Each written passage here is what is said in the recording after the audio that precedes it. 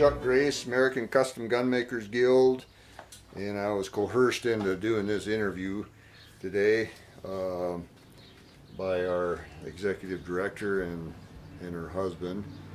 So we're in Westcliffe, Colorado in my brand new shop, which is uh, a little congested because I've got some other projects going. So we're going to attempt to lay out a checkering pattern on this stock on a forearm. So the chronological order of things is I try to get the perim perimeter of the pattern marked out before I hook it up into the cradle. So as I was saying, I, I like about a seven inch long. We're going to use a point pattern here today. So I'm just roughing out with a with a white pencil. And this this is subject to change either longer or shorter depending on the pattern that I come up with. So we're looking for symmetry. You know, the points coming out the same on either side. And I try to go about a quarter of an inch past the junction of the barrel and the receiver, uh, as you can see. So, so I lay out the actual pattern on a piece of graph paper um, which is already three and a half to one diamonds. So that's pretty easy. It's got a center line in it. So I'll, I'll cut a rough uh, piece of paper with the tapers on the side to match the forearm tapers. And then we can lay out points at will on this graph paper. So it's it looks like it's more complicated than it really is but uh, this is how I started out. This is a depth scribe for the side sidelines. And it is just a dental pick that's been bent over uh, adjustable and a little piece of wood.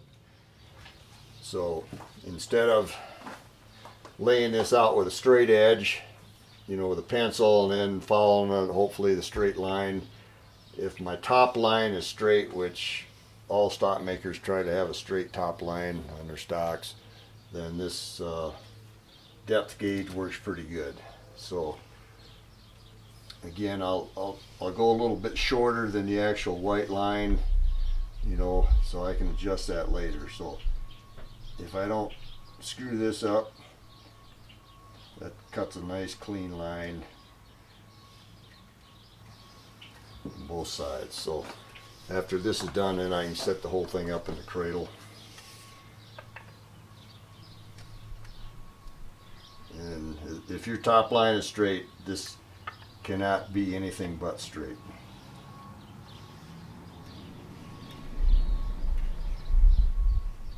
This is a cup holder, I call it, that uh, Universal uh, goes around all the butt stocks or butt areas to protect.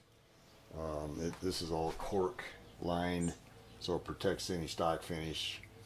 Um, this pad is sort of boogered up with finish. It hasn't been cleaned up, but that's why it's a little dirty looking.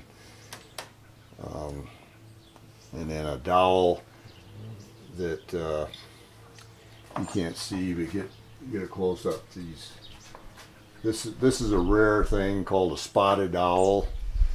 They're in Oregon.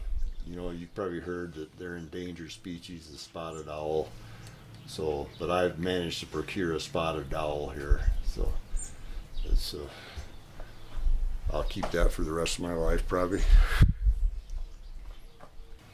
All right, so so we've already cut those sidelines in. You know, if I'd have tried to do that after the stock was mounted, I couldn't use my little depth gauge because this is all cluttered up with that dowel, spotted dowel. All right, my next step is drawing a center line on the bottom of the stock. In a typical bolt action, you can there's two or three, two or three reference points you can go on. For one thing, the forearm has to be symmetrical. In other words, um, the same amount of wood has to be removed on both sides for symmetry. And that's important on a point pattern checkering as well. But to get a center line, everything's going to go off of the center line on the bottom. So I'm using the hole for the sling swivel and I line up on the hole for the front guard screw. And then I've, I've got a white grease pencil and I'll take and draw a straight line.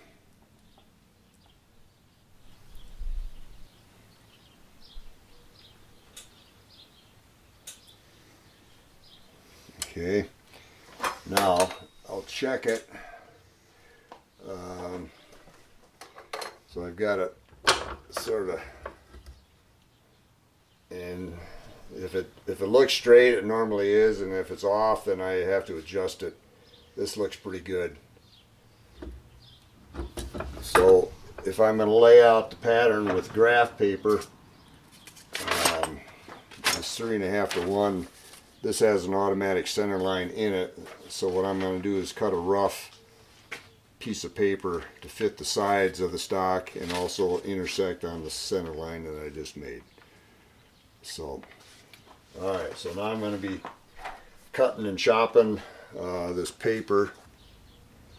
Again, I, I leave everything a little bit large. Um, I'll come back and keep trimming it. Again, all forearms are usually have a taper of some sort, and this is what we're looking at now. I'll, I'll do this two or three times, put it back on the stock until I trim it down to exactly line to line.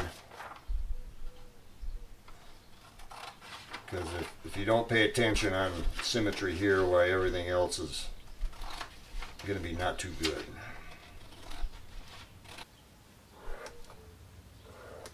All right, now it's fitting on the center line that's on the piece of paper, and here's uh, the little white line sticking out that I made. So we're getting close. So I'm just going to hand sketch some stuff here. Uh, I've got a center line and I like the two main points on the bottom to be inverted and we'll throw some others in here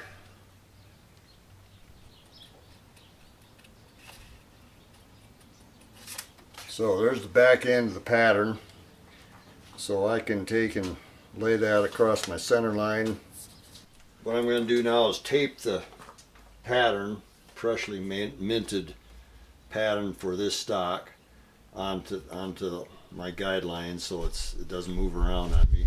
We're basically got the pattern on there.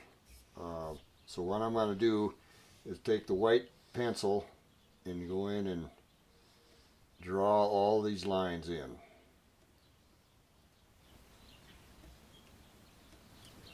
Okay, and I can tell you, any stock maker will tell you, and he's done it, anytime you put a white line on a stock, you think you're going to come back later and it'll be there, but from handling it for an hour or two, it, it gets rubbed off. So I've had to save, that's why, you know, you always save the pattern, and it's important to put the guy's name on it, in case you got two or three others laying there. I may have to put this back on and retrace this white line. And as I said, these are just guidelines.